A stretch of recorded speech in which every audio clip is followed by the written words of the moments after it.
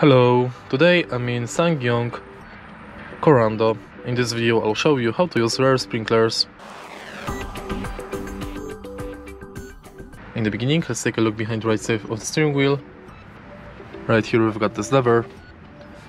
Firstly you can use only rear sprinklers by twisting top part of the lever downwards and holding it.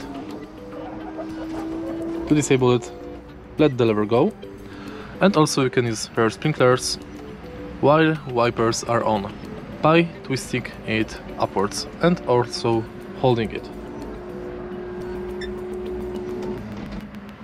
To disable it, set it to off position. And that's basically it. If you find this video helpful, please leave like, comment and subscribe.